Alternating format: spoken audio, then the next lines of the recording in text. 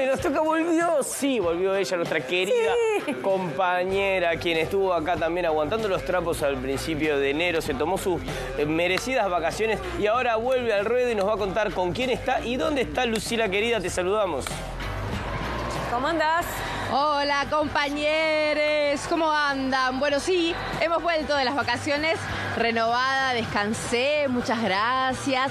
Este, a todos nos hace bien, así que bueno, feliz de estar acá este, y feliz de, volver, pero volver a un lugar de esparcimiento también. Venía escuchando ecos de, este, de que se había inaugurado este lugar tan lindo.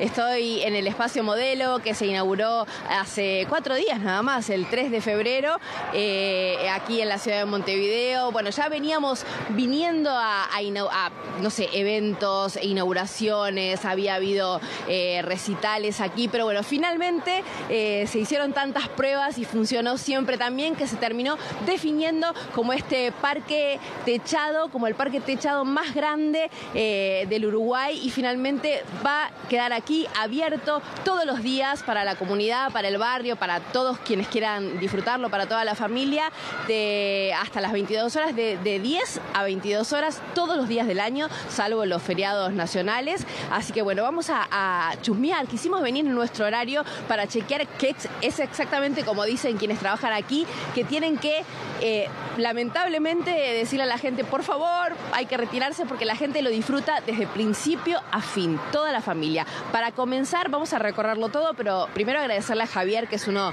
de los empleados de aquí, que nos estuvo contando un poco cómo funciona y nos habló de cada uno de los espacios pero así, de primera mano, hablar con la gente del barrio. Él se ofreció a, hablar porque está como fascinado con su familia de poder contar con este espacio. Se llama Leonel y le damos la bienvenida. Leonel, gracias por quedarte este ratito. Y bueno, contarme en nombre de, toda la comunidad cómo ha recibido el barrio este nuevo parque. Es una maravilla, o sea, el barrio está eh, en movimiento total, pero eh, no solo el barrio.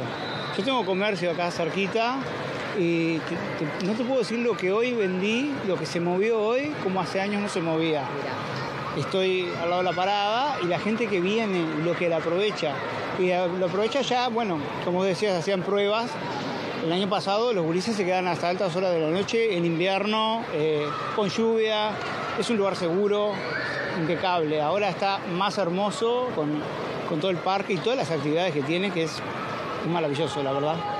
Eh, es una maravilla, no sé, no me queda más que decir. Eso, eso es re importante lo que vos decís, ¿no? Lo que hace mover este, a los comercios, también cambiar un poco lo que es el tema de la, de la seguridad del barrio, que esté iluminado, bueno, que, que, que lamentablemente hubo un tiempo que, estuvo bastante abandonado. Una zona que además precisa la convivencia, precisa la gente y, y la gente lo aprovecha, lo aprovecha al máximo cada vez que, bueno, acá, mirá, es un miércoles, es un disparate la cantidad de gente, de los gurises que hay, es impresionante todas las, todas las actividades, el volei, bueno, los juegos, el, básquet, la canchita de fútbol allá en el, espacio campo, eh, los juegos en general. No sé, los niños, esos tienen las vacaciones que no tenían hasta ahora, es impresionante.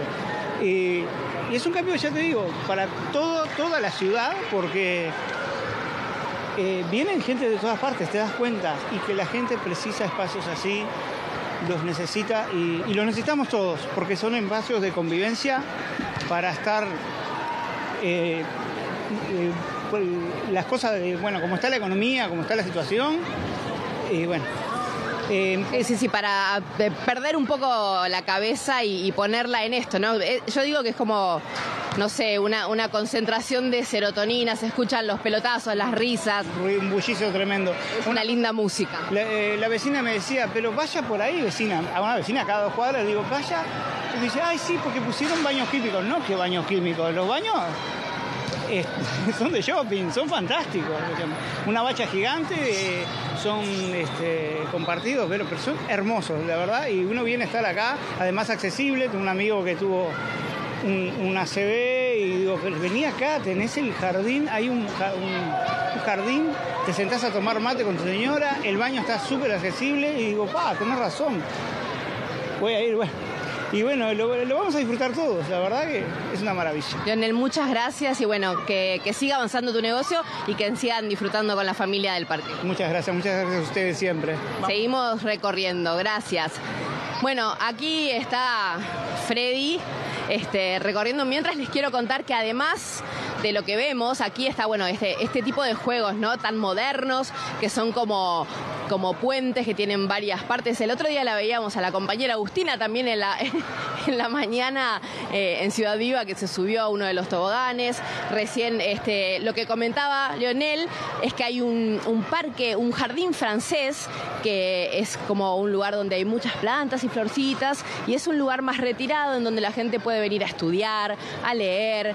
Lo que tiene esto de bueno es que ahora es verano, ¿no? Pero durante el invierno, con lluvia, uno también puede tener esa sensación de ir a un parque, salir de, su lugar de, siempre, ¿no? Y sentarse a estudiar en otro lugar, traerse el mate, hay mesas, eh, va a haber también me contaba esto Javier, una como una especie de plaza de comida que todavía eh, se está armando, ¿no? Es, muy incipiente, pero bueno, se está armando. Hay colchonetas, acá ven a los niños tirados en el piso, hay ping-pong. Yo le estaba preguntando, al principio veíamos las canchas de vóley eh, y le preguntaba un poco cómo se organiza eso como para que sea justo, ¿no? Como que para que cada uno que venga tenga su tiempo y no, que, que se autorregula, ¿no? Que eso también tiene que ver con generar eh, convivencia. Se autorregula, ellos, cada uno va manejando los tiempos. Lo, lo que sí, lo que sí eh, tienen prioridad las, los federados, ¿no? Si ahí viene un equipo de, de volei que está federado pueden, pueden tener prioridad y también están los elementos, hay pelotas, hay paletas de ping-pong, hay pelotitas. Bueno, ahora nos vamos a despedir con esto que también es una novedad. Hay una buena cancha de básquet y está sucediendo, nunca nos perdemos de este evento nosotros, una fecha de la NBA Junior. Así que nos vamos a despedir con unas imágenes de esta fecha que no sé exactamente. Perdón que los moleste. ¿Cuáles son los equipos que están, que están compitiendo? Hoy están jugando Utah Jazz y los San Antonio Spurs. ¿Cómo viene la cosa? Y viene mal para San Antonio, están 22 a 2. O sea, viene mal quiere decir usted, ustedes son de San Antonio. Nosotros somos San Antonio, sí, venimos mal. Venimos. Está bien. ¿Qué, más allá de que hoy tuvieron la fecha acá, ¿qué les pareció el, el espacio? El espacio está muy lindo, la verdad que está muy lindo. Eh, yo conocí el mercado y ahora lo veo, está bueno, es un espacio lindo. Bueno, muchas gracias. Que remonte, a ver si remonta. Este, bueno, nada, contarles eso. Y otra cosa que les quería contar es que mañana también se va a estar inaugurando eh, acá una, o sea, dentro de esta reestructuración del barrio en general, más allá del espacio modelo, eh, van a inaugurar una placita de estas plazas inclusivas, que hay un montón por la ciudad, pero bueno, una que estaba abandonada, eh, acá una cuadra y media, que se va a llamar Parque, eh, ¿cómo era que se decía? Parque Plaza Recreo, ¿no? En esto, están haciendo una reestructuración del barrio completo para que, bueno, se regenere, como nos decía al principio Leonel, todo el barrio, eh, los comercios, allá se ven también las, las canchas de skate. Bueno, ahora me estoy viendo yo, no la cancha de skate, pero bueno, hay de todo, vengan a disfrutarlo.